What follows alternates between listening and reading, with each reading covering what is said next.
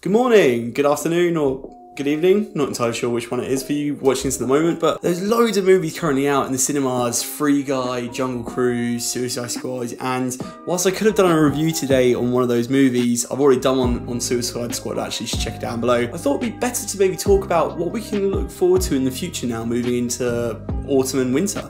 And that's why I'm going to do my best movies you can look forward to this winter 2021 video I can. First up on our list is Shang-Chi and the Legend of the Ten Rings. This is our second film in Phase 4 that's come out this year. We've currently had some well-received TV shows that have come out Disney Plus, and What If is on at the moment. I'm just hoping that for this new origin story for a superhero, we get a nice healthy mix of maybe that Asian culture or that martial arts style fighting that we've seen in Jackie Chan films and Jet Li to make this a bit more of a unique origin story.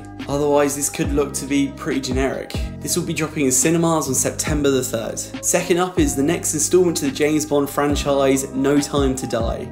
After being delayed for almost two years, this looks to be the final installment of the Daniel Craig series. And we have Rami Malek coming into this movie as the new Bond villain, which I think will be really exciting. I love watching him on screen. And we have this weird system of each Bond movie oscillating in terms of quality and reception where the first one was really good, and you had Quantum of Solace, which wasn't. Skyfall was good. Spectre wasn't. So in theory, you know, we should be back up there again. No Time to Die is coming out to cinemas on September the 30th. Moving down the calendar, we have Venom Let There Be Carnage. This is a sequel to the Tom Hardy Venom that we saw a few years back, and it was okay. I didn't hate it, but I was hoping to see a bit more from it, if I'm honest.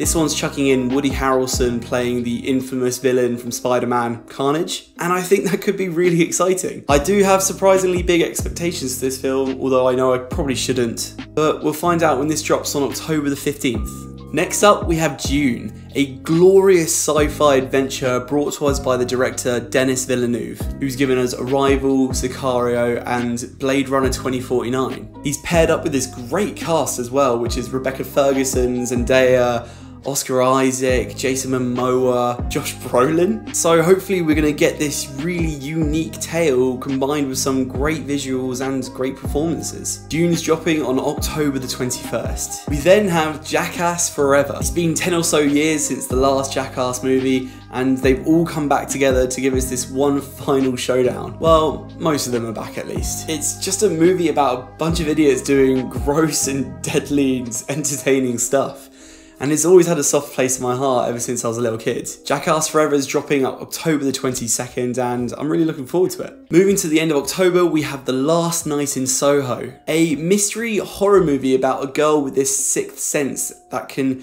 go back in time to the 1960s, taking over the body of her idol singer. And while it sounds like a really generic plot, it's being directed by Edgar Wright, who gave us the Cornetto trilogy, Scott Pilgrim vs. the World, and Baby Driver. Edgar Wright is one of the most stylistic and creative directors out there at the moment, and I really can't wait to see his spin on doing a proper horror movie. I know Shaun of the Dead was a horror movie, but that was more of a comedy at the same time. Last Night in Soho is dropping in cinemas on October the 29th. We then get our third MCU movie of 2021, which is Eternals. I don't really know much about these characters, but the cast looks absolutely fantastic and the trailers seem really impressive so far. You've got Salma Hayek, Richard Madden, Angelina Jolie, Gemma Chan, Kit Harington. It's a really impressive cast. But yeah, Eternals is dropping in cinemas on November the 5th. Following that, we're getting Ghostbusters Afterlife a far off sequel to the original Ghostbuster movies where we follow these kids who've moved to a new town to slowly discover that connection that they have to the Ghostbuster legacies that their grandparents left behind. You've got Finn Wolfhard from Stranger Things as well as Paul Rudd as a new character and we're also getting the original cast coming back too, with the exception of the late Harold Ramis unfortunately. Following that we have Top Gun Maverick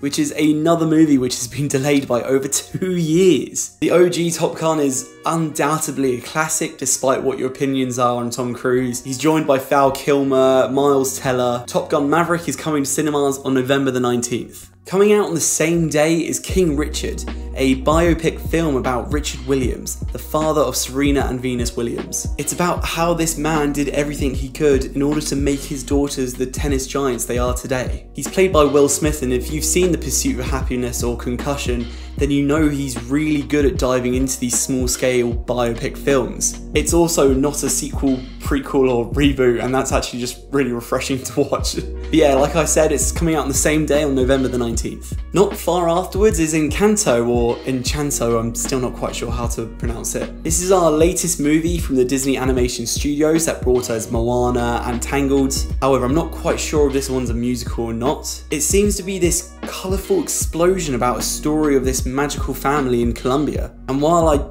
don't think it's a musical, I do know that they're going to be representing Colombian music, similarly to how they've done it in Coco and Luca, and it'll be really exciting to hear these great scores representing their culture. This is easily going to be a great one to go take your kids to or to download on Disney Plus, and is coming out on November the 29th. Following that, we have Spider Man No Way Home. This is the fourth and final MCU film coming out in 2021. And boy, it is a big one. This is arguably the movie that I'm looking forward to most this year, but it might be because I just saw the trailer that dropped this week. We see Peter Parker teaming up with Doctor Strange to solve the issue of his identity being revealed whilst being interfered with villains and characters from different dimensions. Honestly, this just looks so hype, and if you can get away with not watching any trailers until the movie comes out in December, I would recommend doing so because this is going to be absolutely packed with surprises. This one's coming out on December the 17th and I actually cannot wait. Another movie which has been heavily delayed is The King's Man, a prequel to the first two Kingsman spy movies that we've seen, which were really great fun. We're winding back the clock to World War One with Ralph Fiennes, Gemma Arterton, Djimon Hounsou, and hopefully it's going to be as fun as the previous films, but minus those really over-the-top gadgets that we were starting to see, making it a bit more grounded. Kingsman's dropping in cinemas sometime December this year. And I was to maybe talk about the fourth Matrix movie, however we've not had any announcements of titles, footage, images, we've not had any updates at all, so my guess is that this one's probably to get pushed back to 2022. But yeah, that is it. That is my extensive list of things that are coming out this year that you can still be excited for. If you liked this video, please feel free to leave a like and subscribe. It really does help me out. And as always, stay tuned for more reviews on movies, anime, and video games. Until next time, guys, take care. Bye bye.